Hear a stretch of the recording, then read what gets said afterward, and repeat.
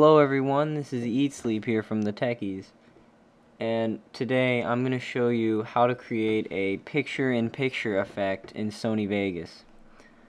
Uh, picture-in-picture -picture effect works really well when you're making uh, credits and you can have multiple screens of parts of the video showing at a time or if you want to be a newscaster and you want to have yourself sitting there and then show a video at the top left or top right.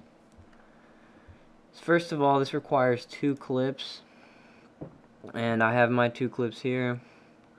Uh, you want to have the clip that you're going to have end on top of your main clip on the top.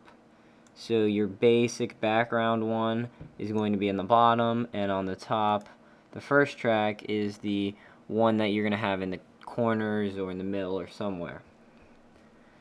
So first of all, what you want to do is when you have that all set up, you want to go over here to track motion? And it brings up this uh, little box here. And this is where you can set the uh, how big you want your video to be. As you can see here as I'm dragging this in and out it's already starting to overlay the picture where I want it to be.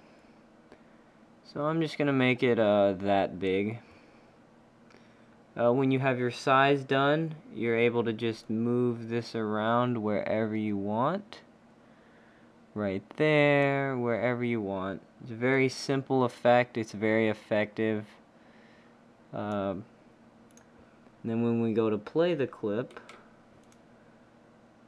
as you can see, they're both playing at the same time. Um, I hope this helped. This has been Eatsleep from the Techies. Thank